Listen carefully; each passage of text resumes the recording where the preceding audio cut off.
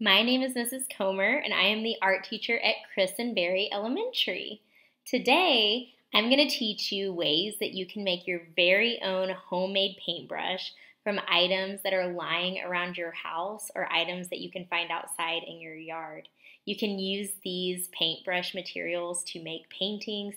If you don't have paint, that's okay because I'm going to show you some ways that you could paint outside with things like mud and water using your homemade paintbrushes as well. We'll also be learning about how professional artists create their own paintbrushes and the items that they use might surprise you. So I'm excited to do art with you today. Let's get started. I wanted to start out by actually showing you photographs of handmade paintbrushes that professional artists have made. We'll talk about some of the ways that they made them and some of the materials that they used as well. So when you're looking at these paintbrushes here, you'll notice that they have really interesting shapes. What do you think that they're made of? Well, the handle part is made from them carving wood. And the bristles, the part that you dip in the paint, is actually made of different types of hair.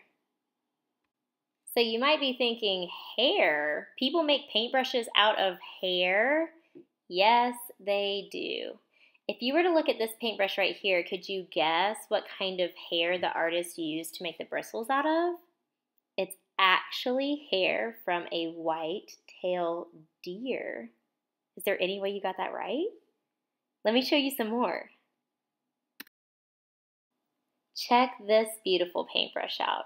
Again, it's a handmade paintbrush created by a professional artist. So if you were to guess what this paintbrush was made out of, what do you think the artist used? The artist actually used skunk hair to make the bristles for their paintbrush. A skunk, can you imagine? So before we start talking about things that we need to make our own paintbrushes from scratch, like these other artists have, I wanted to show you a contemporary artist who's alive right now. He lives and works in Spain, and his name is Ferran Gisbert. And if you look right here at this picture, he is quite famous for going to art galleries and he takes this really, really large handmade paintbrush that you can see in this picture. And he dips it in paint and ink and he actually paints directly on the walls of the gallery. So this is a paintbrush that he made. And what do you notice about it? Yeah, it's massive. It is probably the biggest paintbrush I've ever seen. So hopefully, after looking at some of these other artist paintbrushes and Ferran's work right here, we'll get some ideas about some fun and creative things that we can use to make our own paintbrushes with as well. So what I'm going to do is show you some pictures um, of examples of paintbrushes that are made from items in nature, and we'll go over a materials list, and then we'll get started on making our art. So now let's talk about how in the world are we going to make our own paintbrushes from scratch? Well, it's a lot easier than you would think. I know a lot of the art that we do together comes from nature, sticks, leaves, feathers, flowers, stuff like that. Um, but that's great because we always have that around us somewhere. So today we're going to be going outside. We're going to go on a scavenger hunt for things like sticks, blades of grass, a feather, flowers, and different kinds of flowers, different kinds of leaves. You could be using pine cones, um, parts of branches. Uh, there's so many different things that you could be using to create a paintbrush. And it doesn't have to just be things from outside. If you're walking around your house because maybe it's raining outside or it's cold, maybe you could go around your house and find some things that are disposable that you get permission to use that would make great bristles for paintbrushes. It's totally up to you. You're the artist, it's your choice. So right now I'm going to show you a materials list of things that I suggest that we use together today to get started on our art. And don't worry if you don't have string and paint and all these other kinds of things you've seen in the pictures, it'll be just fine. I'll show you some alternatives to all of it. All right, here's our materials list that we need for our art today, and we'll go over this very quickly. Uh, we're gonna go outside on our scavenger hunt. I want you to look for sticks. I want you to look for leaves, different kinds of leaves in particular, grass. Make sure it's not too short. You wanna be able to tie it on to a stick, so make sure it's kind of long. Feathers if you can find them. Of course, with anything outside that you find, wash your hands after you use it, especially before eating or touching your face. Flowers and different kinds of flowers. Anything that you can find outside for your bristles will be great. In order to get it to stay on your sticks, I need you to find rubber bands or string. Now, here are some optional things. You might not have rubber bands or string lying around your house. Some other items that you could use to make your bristles stay on your stick to create your paintbrush, you could use tape. You could use plastic grocery bags from the grocery store that you use scissors to cut up into strips, and then you can use that like a string. You could also use bread ties from off of loaves of bread in your house, anything that you find in your house, I want you to be creative. Ask yourself, is this going to help my bristles stay on my stick so that I can use it as a paintbrush? Artists, the first thing I'm going to do is go outside and go on my own scavenger hunt to look for items that I can use to make my own homemade paintbrushes with. We'll spend about a minute doing this, so if you want to spend one minute at your house right now trying to gather materials, that's enough time if you do it really fast. Are you ready?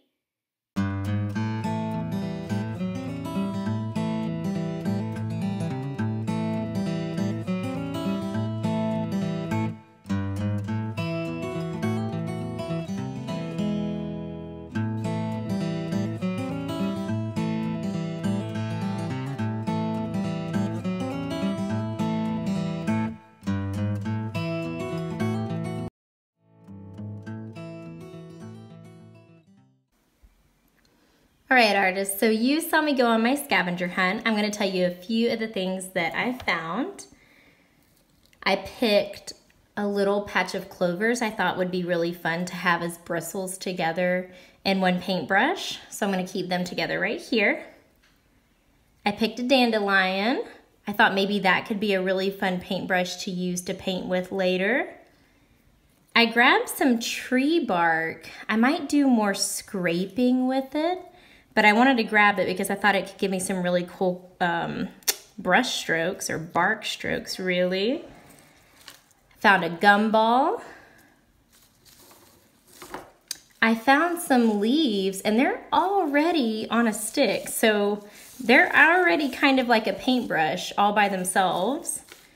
I got several different kinds of sticks that are, um, some are thin and some are thicker that I'll use to be the base of my paintbrushes.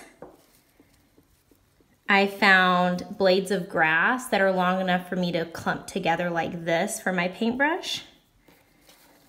And then I found this other really tall type of grass that I thought would be really fun to paint with as well. Now, as far as things that I can use to actually attach my nature objects to my sticks to make my paintbrushes, I have tape at my house, which I'm gonna try a little bit of. I found an old bread tie that I wanted to try. And actually, I had a hair tie on my wrist, and I was wanting to experiment with my hair tie and see if that ended up working out as well. So the first thing you want to do is take one of your sticks like this and then choose one of your nature objects. I think the first one that I want to choose to put together is actually going to be my tall, fluffy grass. So what I'm gonna do is just kind of tear it like this so I can get the end pieces a little shorter. And my goal right now is to put them together in a clump, like a little bunch like this. I'm gonna try to make sure that the ends are kind of together. I notice this one's extra long. I might move it down a little bit. And I'm gonna pick one of my sticks out. And I'm gonna take my stick and just kind of put it around them like this. And then I'm gonna pick out one of my tools for connecting them. I think for these, because they're so fluffy, I might try to use some tape. And again, you're the artist, it's your choice. So whatever you're working with at your house is great. We're just experimenting here, trying to create new things. And if it doesn't work out well, try to figure out what went wrong and fix it and problem solve and then try a different one. All right, so I'm trying to get my tape on pretty tight like this. And then just like this, I have created my first paintbrush from scratch. It didn't cost me any money. It just took a little bit of time finding the right materials outside. So I'm gonna set this paintbrush right here. My next one, I have a smaller stick. Let's see, maybe I will attach my dandelion to this one maybe use it more like a stamp than a paintbrush.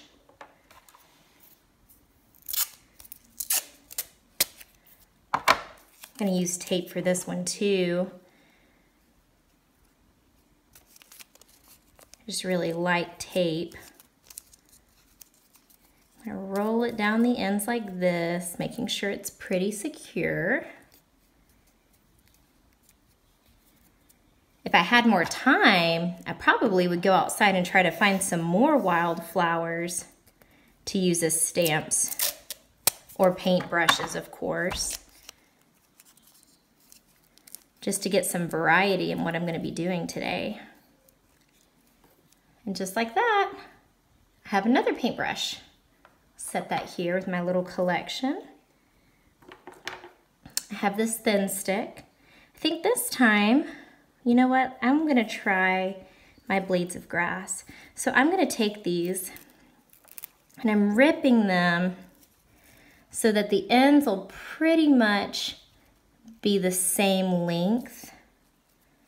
It doesn't have to be perfect, of course. These are homemade paintbrushes. And you know what? I might try to experiment with my hair tie. Let's see if I can get this to work. Oh, this is gonna be fun.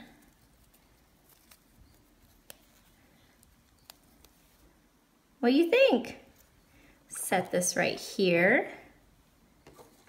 And I already had one of these. I think what I'm gonna do now is just break this part off and use this as its own paintbrush. Nature kind of provided me with a whole paintbrush setup right here. And then for this one, I'm gonna take these clovers and maybe I'll use a bread tie try to get this to stay on like this. Again, we're just experimenting. Here, a little paintbrush. So now, let's talk about what can we do with these amazing paintbrushes. Um, if you have paint in your house, you can actually take these, take a little paper plate and a paint palette and just start dipping them in and painting. I'll show you what that would look like in just a minute. You can also, if you don't have paint, go back outside with your paintbrushes, find some mud or some water and dip it in there and practice painting on the sidewalk with mud and water. That's also a form of painting. So what I'm gonna go do now is grab some paint and we'll see what kind of marks that I can make with my new paintbrushes.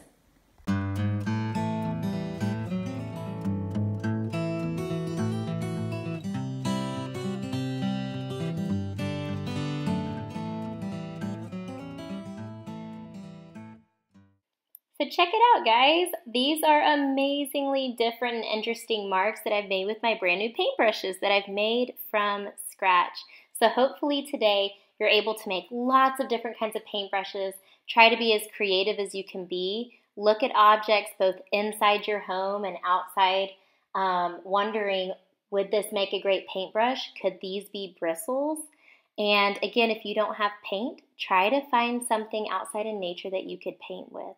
I've had so much fun with you today. I hope you spend today inside and outside being as creative as you can be. I'll see you next time.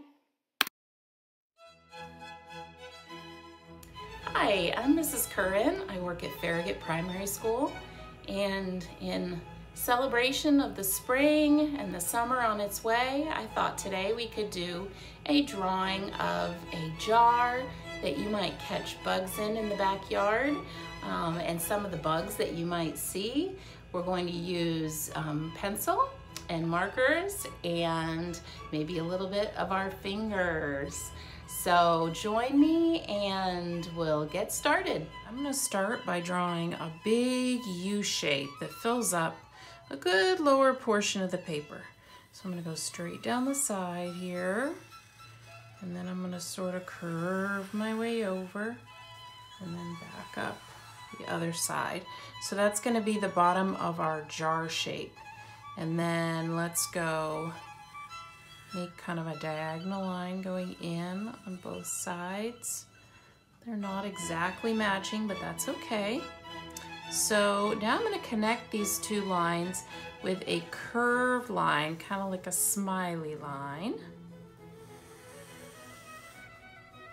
And that is gonna start the top of my jar.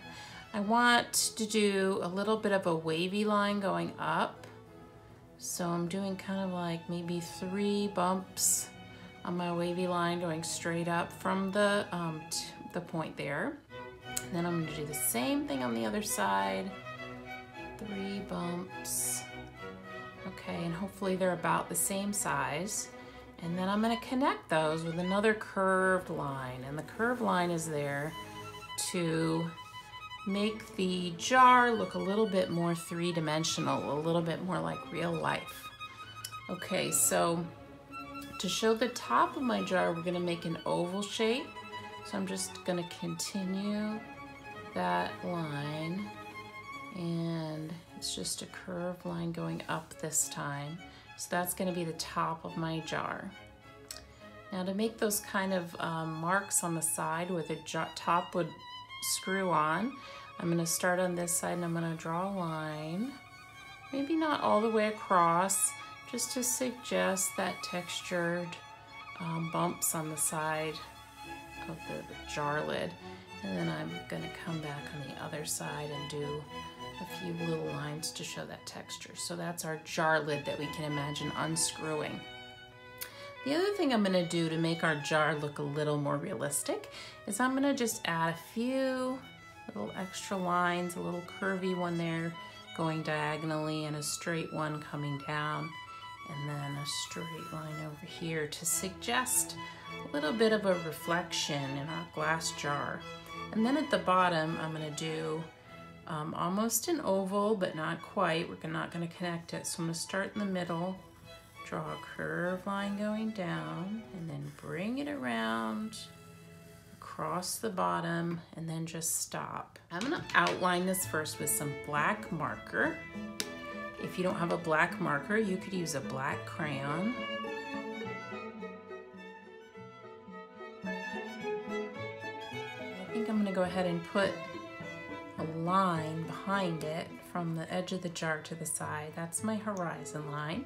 So this is where the ground is gonna be and that's where the sky is gonna be. Now next, I'm gonna start adding some insects, some bugs. So you can use your fingers for this.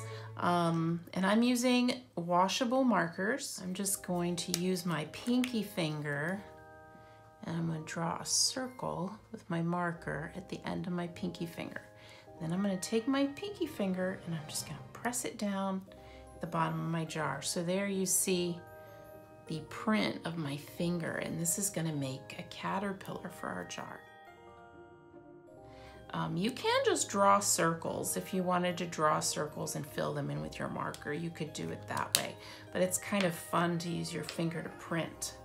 So next I'm gonna take my black marker again and I'm gonna add a couple round eyes and some antennas. I'm gonna give him a little smile. And then I'm gonna add two little legs to each section of our caterpillar. And I think next I'm gonna add a bee. So I'm finding my yellow marker for the bee. And this one is not gonna come out quite as dark as my caterpillar green, but I'm gonna make a nice yellow circle on my one of my bigger fingers and we'll just print that in the middle of the jar. It's kind of light, but that's okay. So we have our bee body and then we're gonna add some black lines for the bee and he needs a little stinger. And then I think I'll add a couple of bigger wings and then maybe a couple little wings that help him fly. And I'm just gonna add two little dots for his eyes and a little antenna there. Next, I'm gonna try a spider because I've been seeing a lot of spiders around outside. My spider is going to be brown. So I'm coloring in the end of my finger nice and brown. This is time I'm using my index finger. You don't have to use natural colors for your bugs. You could use bright colors, colors that maybe aren't realistic but are colors that you like and that would be okay. So for my spider, he needs to have eight legs, so let's do eight. One, two, three, four, five, six, seven, eight legs. And we need some cute big eyes for the spider. And we'll make him a happy spider. We like spiders at my house because they take care of those other bugs that we don't like so much. And if you wanted to, you could add a little bit of a web on the side there. See how I made those web marks going in and then we'll just connect each one and that'll make our little web for our spider. Ladybugs are supposed to be lucky when they land on you so I always get excited if I see a ladybug that's landed on me or if I see ladybugs out in the yard. For some reason they creep me out less than the other bugs. So I'm coloring in my ink. This one's a little dry, so it's probably not gonna be too dark. Yeah, it's pretty light. Maybe I'll do, I'll try adding some extra on there. Or you could just go ahead and use your marker to color in a little bit extra. Or a crayon maybe, if you don't have that marker. And so for the ladybug, we gotta remember that it has spots I'm gonna draw a line first to separate the head from the body, and then a little line down its back to show where its wings are. And then we'll just color in some little black spots around its body. And ladybugs, along with most other insects, have six legs. So I'm gonna draw three legs on either side to total six. And we'll give our ladybug some cute little eyes and maybe, I don't know, maybe we could give him a couple of antennas sticking up. That always makes it look cute. I'm gonna pick out a really pretty color for the butterfly. And this time I'm gonna have to do multiple fingerprints for this one. The other ones we only used one except for the caterpillar. This one we're gonna use one for each wing. So I'm gonna do a fingerprint there this finger is going to be really colorful. And another one next to it. Those will be its top wings. And then I'm going to add two more wings there and there. And for the butterfly, we're to add its body with the black marker. So the butterfly body is kind of long and skinny. Maybe it has some lines on it. And then I'm to add some big circle eyes to the top and some fun antenna with a little ball at the end. Maybe we could do some fireflies. Those are some bugs my daughters and my son really like catching in jars. So let's see, I'll do one, maybe I'll do three fireflies. Two, and you can think of all kinds of other bugs. You could add some ants beetles. Um, grasshoppers would be a good one to try. So for the firefly, I'm just gonna give him some little eyes here and some little wings. maybe I'll separate that back part of his body and we'll put a few little legs on there and then I'm gonna add, I'm gonna use a crayon this time since my yellow is getting kind of light. I'm gonna add this little bright circle to the end of him. That way you can tell he's lighting up. So I'll do the same with these other two. So when my girls like to catch little bugs, roly-polies, or whatever they might find in the yard, they'll um, put some leaves and sticks in the jar. Maybe give it something to munch on or something to climb on. So there's kind of like a little branch you can add. Brown marker is getting a little bit low too, so I'm gonna add a little bit of crayon to that one to make it darker. You can just use whatever you have, whatever works best that's at your house. And I think I'll add some, maybe some vines here coming up the side. We can put some leaves on the vine. Little leaf shape and just color it in. You could add some bigger leaves. Let's see, we'll add a big leaf over here for this caterpillar to chew on.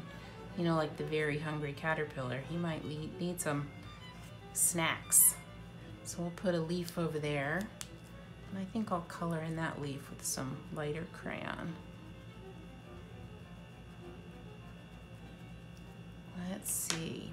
And I think maybe we'll do a pretty, pretty flower in here. Think about really filling up your jar. You could do some silly stuff in the jar too. Maybe your bugs would like some playground equipment to play on. Maybe they would want a little tiny slide or a little tiny swing set to play on. a lot of things you could do in this. Besides just plain old sticks and leaves like me. Be creative. I want one more big leaf over here. That'll look pretty. Give our bugs something to do.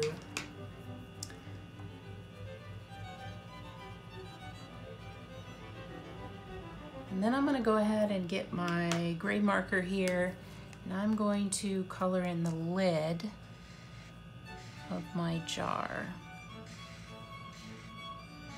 And my next step would be to maybe add some color to the jar itself. I have a nice light blue crayon that I think I'm gonna add some color to the jar. And then we can think about our background. So let me get my light blue crayon. Actually, it just looks like a normal blue. That's Crayola Cerulean. So I could draw some clouds up here in the sky. You could draw a sun. You could draw some trees in the background. So that's gonna be all filled in in just a minute. And I'm gonna start coloring in a little bit more of my jar.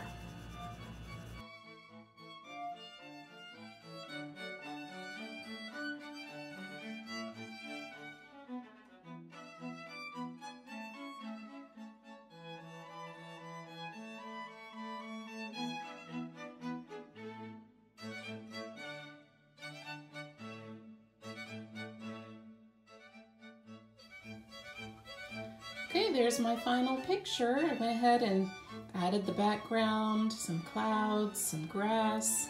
I used some crayon to help with the background color and a little bit of the background of my jar. I added some light blue and a couple extra bugs, some uh, leaves and sticks. So I hope you enjoyed it. Um, if you would like to post any pictures of your uh, drawing on my Facebook page. It's FPS Art.